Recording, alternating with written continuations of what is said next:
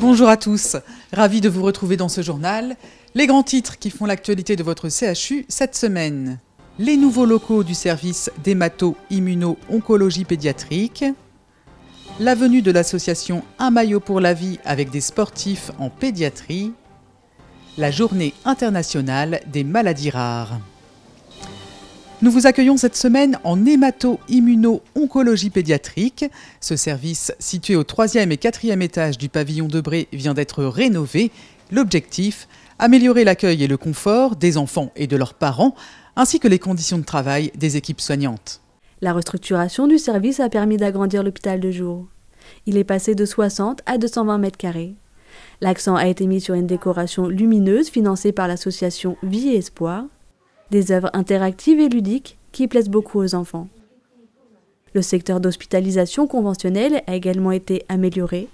Deux chambres plus spacieuses ont été aménagées et équipées de commodes, réfrigérateurs et de fauteuils convertibles en lit pour permettre aux parents de rester auprès de leur enfant. Merci à l'association Vie et Espoir ainsi que ses généreux donateurs d'avoir contribué au financement de certains espaces et réaménagements. Retour sur un après-midi festif en pédiatrie. Des sportifs normands de haut niveau sont venus rendre visite aux enfants et adolescents hospitalisés grâce à l'association Un maillot pour la vie. Parmi eux, les joueurs du FCR Rouen, de Rouen Métropole Basket, le club de lutte ASPTT Rouen, Rouen Normandie Rugby et les Dragons de Rouen.